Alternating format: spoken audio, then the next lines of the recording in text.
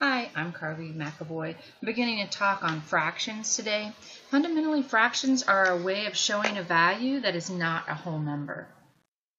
The number on the top is the numerator, and that value shows the part that we're talking about. The denominator is the value on the bottom that shows the total parts in the whole situation, whatever you're given. Remember from the division video that fractions are a way of writing a division problem. 5 sevenths is the same as 5 divided by 7.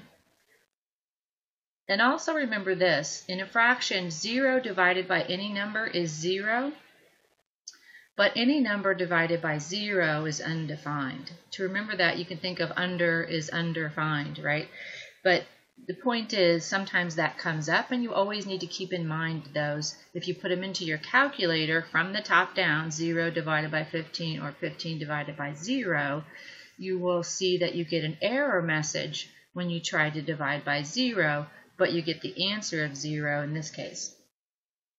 So what we're going to do first is describe, use fractions to describe a given picture and so the first one, you see how there's two parts, and that's the total that we talked about from the um, denominator. So there's two parts total, and the parts that we're looking at, the shaded part, there's one of those. So that's one half. It means one part shaded out of two parts total.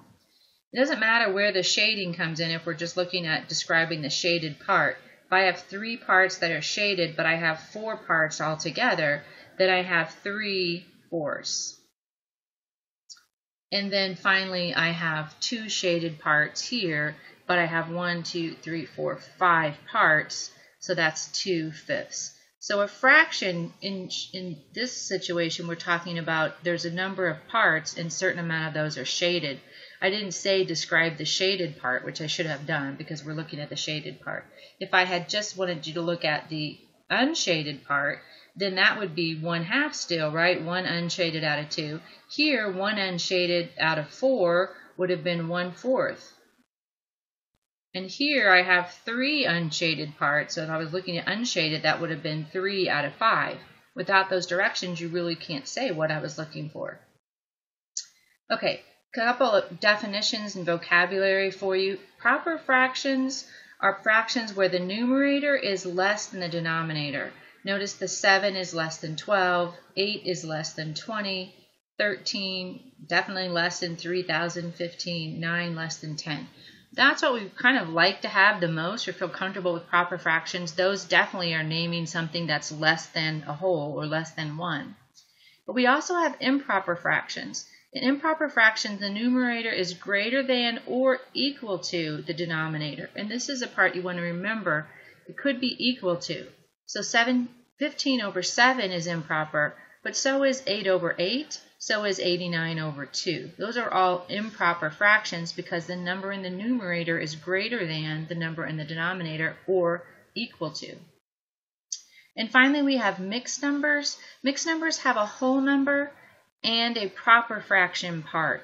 Notice I said proper fraction part because what the part over here in a, in a correctly written mixed number would be a proper fraction. So 2 and 1 third, 5 and 6 sevenths, 8 and 9 tenths, 3 and 2 ninths. Those are all mixed numbers. If I had something where I had an improper fraction attached, I'd have to simplify that, which we'll do in a later video. What if I had one picture, I told you this was one big fraction, and I wanted you to name it as a mixed number? Well, as a mixed number, I have one whole, two whole, three whole parts, so my whole number part would be 3. And then I also have 1, 2, 3, 4, 5, 6. That's my denominator. And there's 5 parts shaded. So that'd be 3 and 5, 6 as a mixed number. What about as an improper fraction? Well, as an improper fraction, I'm dealing with 6. All of these have 6 parts. So my denominator is 6. How many of those do I have? 6, 12, 18, 19, 20, 21, 22, 23. That would be 23 sixths. Anytime you see a number on the top that's greater than the denominator, you know that you have more than one whole. So in this case, we have three wholes and some left over. All right, in the last part of this fraction, uh, video, I just want you to categorize each fraction as either a proper, improper, or mixed. Now the mixed numbers should be easy for you to spot because they have a whole number part and they have a proper fraction part. Those are the mixed numbers in that group. The other ones can be a little trickier. What about 3 fifths? Well, 3 is less than 5, so that's a proper fraction. What about 13 over 13? Remember our definition was that if it's equal to each other, that's improper. So that's an improper fraction. 18 over 5, the denominator is less than the numerator. Again, that's an improper fraction.